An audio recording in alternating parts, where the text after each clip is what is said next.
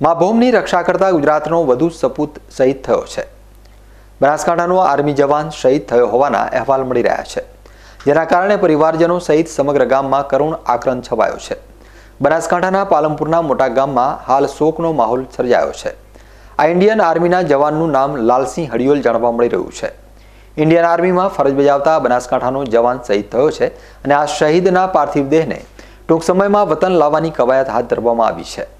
પાલનપુરના મોટા ગામના લાલસિંહ, મફતસિંહ હડિયોલ દેશની સેવામાં શહીદ થતાં ગામજનોમાં શોકનો માહોલ જોવા મળ્યો હતો. થોડા દિવસની બીમારી બાદ ફરજ ઉપર તેઓ શહીદ થયા છે.